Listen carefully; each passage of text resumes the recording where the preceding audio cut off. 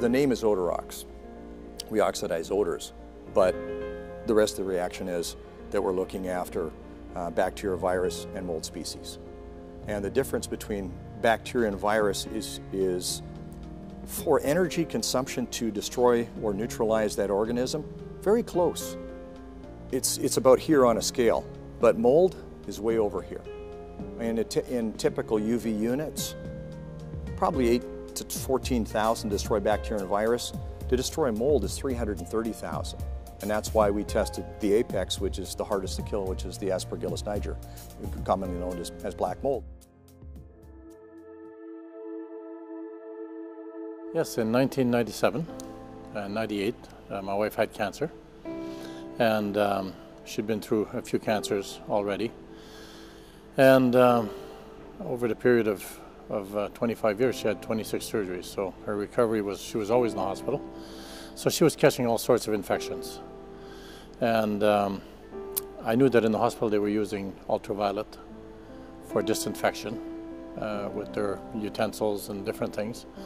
So um, I, I, started looking into um, ultraviolet or some sort of, of technology that would actually clean the air in a home without sprays or chemicals.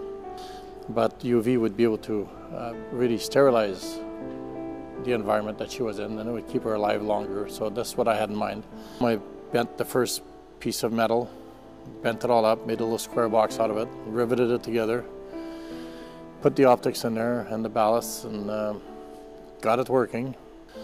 And um, the, the lamps are made of quartz and you have different quartz and different clarity of quartz. It's a lot like diamonds. And so I learned so much. And um, then I was able to formulate my own formula. And then I would test it, and all of a sudden I have really wonderful results. And the results got better and better until we had the recipe all figured out. In uh, the year was 1998, and I had moved with my family uh, to uh, Kelowna and had run into a friend of mine that I had not seen for several years. And we had worked in an industry together with 3M. And uh, he told me that he had run into an individual that had a quite a fascinating technology and because I was already in medical sciences, I should perhaps take a look at it. It looked very interesting, but that's all he knew about it. He, he knew the you know, devices were for real, and he was providing you know, the decals for them. And I said, sure, do you have information? He said, all I have is this one brochure. Uh, please have a look. And uh, it just took my imagination right away. And so I went into CGI and uh, had my resume ready. I already had a, you know, work. I worked in a medical office for almost 20 years as a researcher and uh, biomechanical engineering and sports medicine. So I already had a career and I wasn't really looking for something else. Uh, but when I saw this, it was very imaginative and uh, looked like it could be a very new frontier. I said, well, how do I become part of the organization? And he said, well, you could buy a distributorship. And I went, how much? And I had a check to him in, uh, in a week's time. And that's how we started on a 12-year career together. I remember at the time I was down to our last, we had money that we were going to buy this other house with. And I remember my wife telling me, she said, no, no, you go ahead. You just spend the money. I said, well, here's your last chance to get a new house. And she said, no, no, it's okay. This is going to work. I can smell it. I can feel it. You know. So that's so I pushed it, and uh, then the next box got to be a little better. Then I was able to take it down to a sheet metal place. Showed the guy basically what I wanted, and and then they got nicer and, um, and more effective. The city of Kelowna, uh, being a, quite a lovely city and well placed in the mountains, did not have uh, a CNC machine which could automatically bend and cut and do all the things that were necessary for a sophisticated piece of material. So we had a, uh, a local metal uh, vendor uh, hand make them for us uh, to a point, and then we would do the assembly at, the, at, at our factory. at that time, though, it was in Guy's home, so we progressed from the garage to the downstairs, which was a very nice office, by the way. It was nicely carpeted and looked very professional. Uh, but in our first year, to our credit, we did a million dollars worth of business.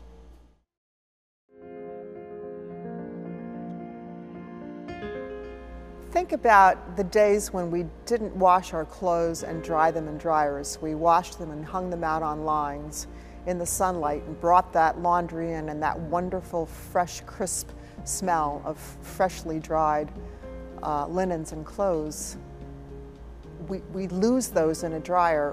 When I brought my HGI hydroxyl generating unit home uh, to try it out because I really believe in this technology, uh, I began to feel that and, and, sense that freshness again in the fabrics of my sofas and my drapes.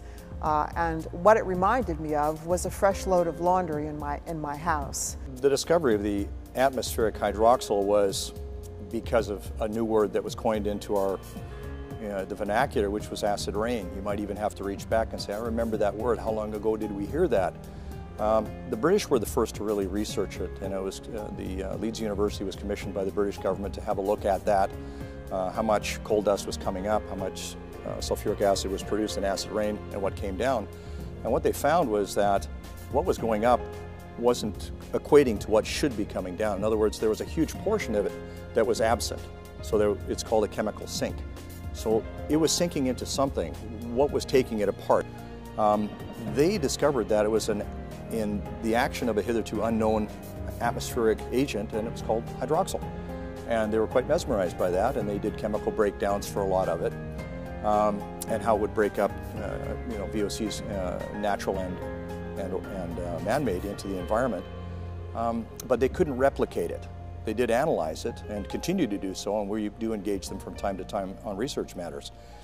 Uh, where it fell to next to try to commercialize this was Penn State. Uh, Dr. Kowalski's lab had a look at that, and for quite a number of years we're trying to sequence what would be necessary as the sun does to create atmospheric hydroxyls. Um, and they were at it for quite some time and, and could not quite get it just where it needed to be. So uh, we were the next ones to really take up the mantle of the baton at that time and uh, worked out how the sequencing had to be so that we could produce commercial amounts. Other people have hydroxyl generators where they generate uh, passive amounts, but they weren't commercially viable. In other words, you couldn't do a sewage plant, a wastewater plant, uh, a rendering facility, the, the, types of things that would really bother a community beyond the, the fence line of that particular factory. And that's where we, we really wanted to be. We've evolved uh, over millions of years, plants, animals, and humans, to thrive in an environment saturated with natural hydroxyls. Uh, they kill the bacteria, viruses, mold and mildew, pollen, and other organic materials that accumulate even under natural conditions in our environment that were they not checked and destroyed, uh, the natural environment we live in would be out of balance and would become toxic. That balance doesn't exist in our increasingly insulated and confined indoor spaces. Uh, and what HGI has been able to do is bring that capability indoors and afford you that option to recreate that natural, fresh air quality, that balance indoors.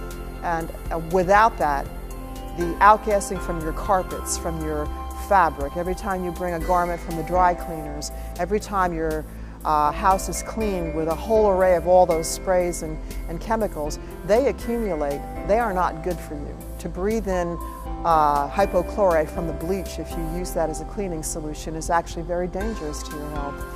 Hydroxyls indoors would decompose those and restore that natural balance and safety of your air.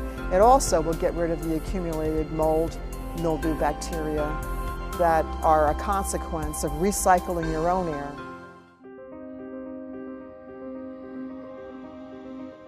Actually came from a couple of employees that came to HGI, told me about what was going on there, explaining a little bit about the technology. In December of 2009, 2008, excuse me, uh, I was asked to actually take a look at automating some of the uh, you know, hydroxyl generators at that point in time. I came in kind of to the, to the facilities to really uh, go through what they had at the time. I, am to say I was a little leery, but I did a little, you know, kind of background on, on checking out what a hydroxyl was.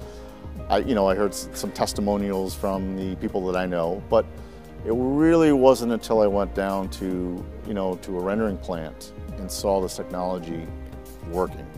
And truly, if you've ever been to a rendering plant and how nasty that environment is, looking at this just rotting food in these pits and things like that, and looking at it, and kind of it's kind of a mind game that you're not smelling anything, you're not seeing the flies, you're not seeing the maggots, you're not, you're not seeing what you would think, and you're just looking at this thing straight. I'd have to say once anybody goes down to an environment like this, especially if they've been to an environment where this technology wasn't working, would make you a believer right there and then.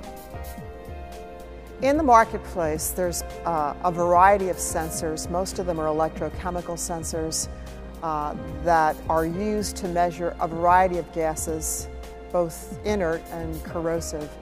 These devices were never measured, uh, designed to measure necessarily potent oxidizers, oxidizers with electrochemical potentials over uh, one electron volt selectively. So when they respond to oxidizers, they respond to them as a group. So they'll routinely register positive for not only hydroxyls and ozone together, but hydrogen peroxide and hypochlorites, bleach, and lemon juice and other common oxidizers. Uh, it's not to criticize them as devices, it's just that their use is being inappropriately used in trying to selectively measure either ozone or hydroxyls. Uh, HGI commissioned an independent survey by Sanexen Environmental and Toxicology Services, uh, a company that is extremely experienced in the use of hydroxyls uh, in the sanitization process, and they surveyed vendors of these devices and laboratories that use other analytical methods. And in their report to the company, they said there are no commercially available labs or methods that can differentiate between a hydroxyl and ozone. And so HGI is taking it upon itself to develop new analytical methods to do just that. The automation includes really a closed loop environment. It actually is sampling the environment and making adjustments to accommodate the VOCs or the particulates that are in the environment. It's adaptively going into that. It's allowing you also to integrate it into a, full manufacturing line or an environment where you need to, to be able to predict what's occurring. In other words, especially as we got moved from more of the odor into the bacteria kills environments, we've the lines are now starting to depend on us to do their sanitation as opposed to utilizing chemicals. And once you do that, the reliability needs to be increased, being able to self-diagnose, self-correct, and to ensure that you're producing the proper amount of hydroxyls based on the production levels. So in other words, we'd be tying into a particular automation system, into you know the particular uh, customer's automation system, and being able to predict based on what's coming down the line that we should be ramping up or ramping down our hydroxyl production in order to ensure that we're getting the right coverage.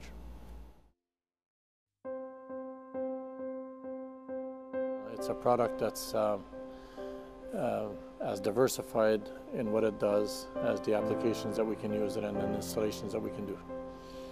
A German philosopher said that any basic truth is first ridiculed, is disbelieved, and then it's taken as self-evident. We're somewhere between two and three.